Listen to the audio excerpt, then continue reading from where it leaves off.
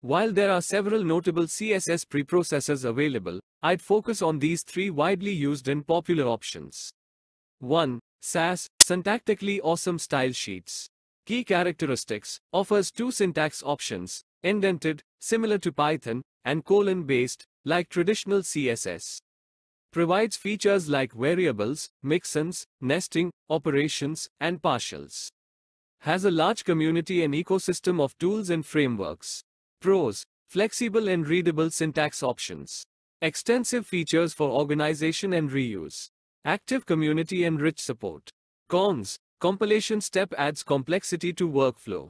Can be verbose with certain features. 2. Less. Key characteristics. Uses a colon-based syntax similar to traditional CSS with curly braces. Offers features like variables, mixins, nesting, and functions. Has a more mature and stable feature set than some newer preprocessors. Pros. Familiar syntax for CSS users. Stable and well-tested features. Widely supported by tools and frameworks. Cons. Syntax can feel verbose compared to other options. Feature set might not be as extensive as some newer preprocessors. 3. Stylus. Key characteristics. Uses a more concise and white space-based syntax like CoffeeScript. Offers features like variables, mixins, nesting, and functions. Relatively newer but gaining popularity with its cleaner syntax.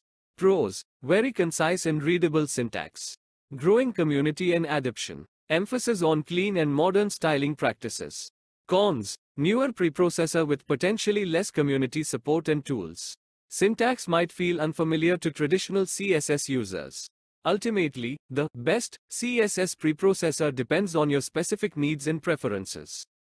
Consider these factors. Project size and complexity. Larger projects can benefit more from the organization and maintainability features of preprocessors.